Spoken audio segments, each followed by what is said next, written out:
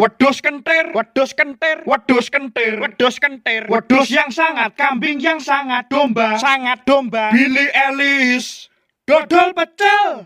Ojo nganti wedus nyolong apel.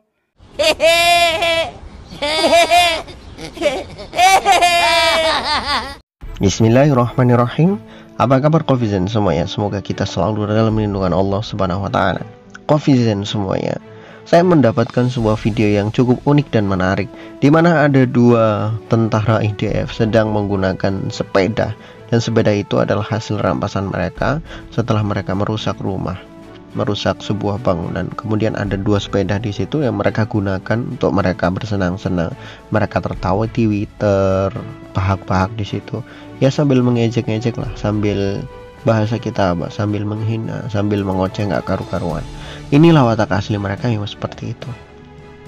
Mereka adalah orang-orang yang sudah kehilangan akal dan nurani pikiran sehat mereka. Sehingga mereka itu terke terkesan mempunyai sifat yang tidak punya lagi hati nurani, tidak punya lagi empati terhadap siapa pun. Jadi orang-orang Yahudi itu memang dididik dari kecil untuk selalu berkata kami adalah ras paling mulia, kami adalah ras paling cerdas dan selain kami itu semuanya adalah binatang. Itu dari kecil sudah dididik seperti itu.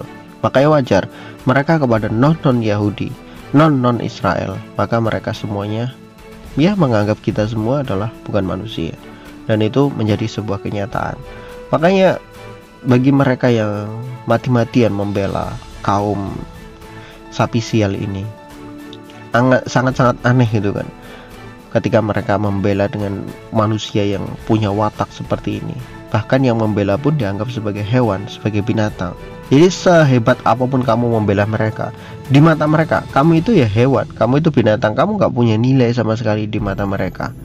Jadi aneh gitu loh kalau kamu mati-matian membela mereka itu. Watak mereka aja seperti itu, kenapa kamu mati-matian membela mereka? Yang jelas-jelas manusia itu saudara-saudara kita yang ada di Palestina. Itu jelas manusia.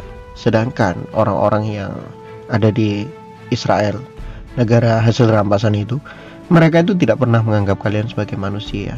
Jadi jangan sekali-kali kalian bela. Wallahu a'lam bishawab.